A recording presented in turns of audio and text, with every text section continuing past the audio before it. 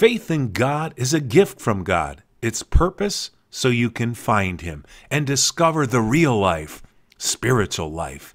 Along with this new spiritual life will come your greatest enemy, the sin of unbelief or doubt. Unbelief will always be your greatest competitor.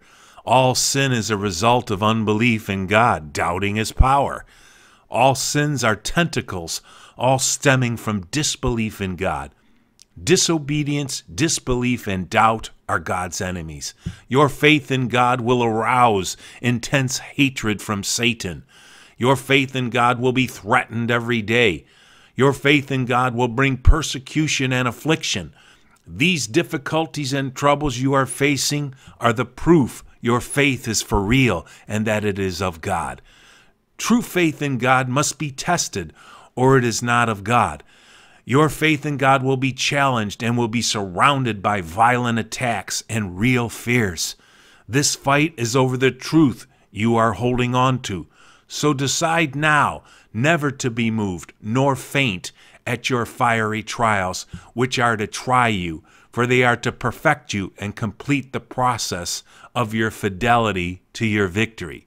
So do not try and remove yourself from your trials, but embrace their reality and their in true intended purpose. Do not be afraid of life's difficulties and struggles. Hold on, my child, and see your faith soar to new heights as you outlast the enemy, doubt. You will always win if you do not change your belief. Those those that give up their faith during the battle will now turn themselves over to God's enemy, Satan, and his worldly system of unbelief and doubt, the kingdom of disobedience, religious denominationalism. Walk in the spirit of wisdom and that of understanding. Hold on to the truth with all your spiritual might. Hell will be offended and will be raging against the truth that you are continu continually fighting to maintain. Resist and arrest doubt and unbelief. Do not befriend them. They are deadly enemies of God and His love. Learn how to tolerate these antagonistic foes of God. Take them on patiently all the way to your triumph in Christ. Endure, abide, remain, continue in the faith. Trust in Him who is invisible. Set your sights on Him who is unseen. Then watch and see the fruit of your faith appear.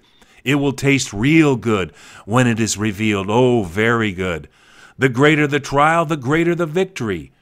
What you will go through will shape your character. This perfection in your person will be born by your trials.